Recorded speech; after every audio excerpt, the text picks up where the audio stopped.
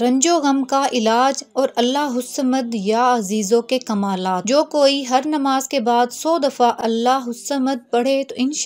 रंजो गम में कभी मुबतला ना होगा और नहायत खुशो खुरम जिंदगी बसर करेगा अगर कोई तमाम मखलूक की नज़र में बाइज्जत रहना चाहता हो तो हर रोज़ रात को हज़ार मरतबा अल्लाह हुसमद या अजीज़ों का वजीफ़ा पढ़े इन मखलूक की नज़र में इज्जत पाएगा सदका जारिया की नीयत ऐसी वीडियो को लाइक और शेयर कर दें जजाकल्ला अल्लाह हाफिज़